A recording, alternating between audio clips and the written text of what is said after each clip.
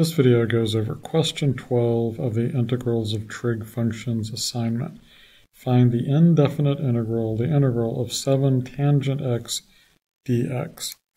So if we go to our formula sheet, the integral of tangent u du is negative the natural log of the absolute value of cosine of u plus c.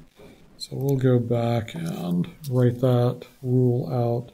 The integral of tangent u du is negative the natural log of the absolute value of cosine of u plus c. So the 7 we can treat as a constant multiple, so we can rewrite that as 7 times the integral of tangent x dx. And by this rule, that's going to give us negative 7 natural log of the absolute value of cosine of x plus c. So we'll go put that in. Negative 7 natural log. We need the absolute value cosine of x. Get out of the absolute value plus c. Well done. Could we do that in the calculator? Absolutely.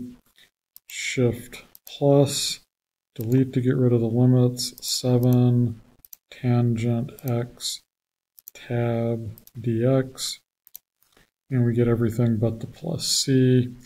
And you can check out now, but I want to show you how this one relates to the last problem. We could rewrite this as 7 tangent is sine of x over cosine of x dx. We could further rewrite that as 1 over cosine of x times sine of x dx.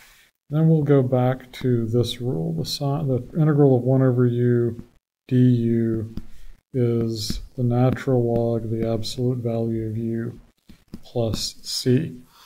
So my u is going to be cosine. And then du is the derivative of this, which is negative sine of x times dx. So I've almost got du. So I'm going to rewrite this as 7 times the integral of 1 over cosine x times sine of x dx.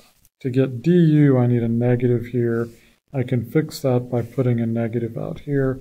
So that's negative 7 times the integral of 1 over u du.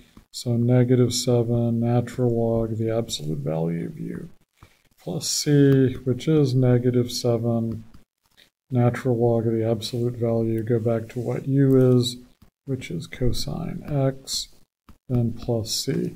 So we did this three different ways, and that concludes this video.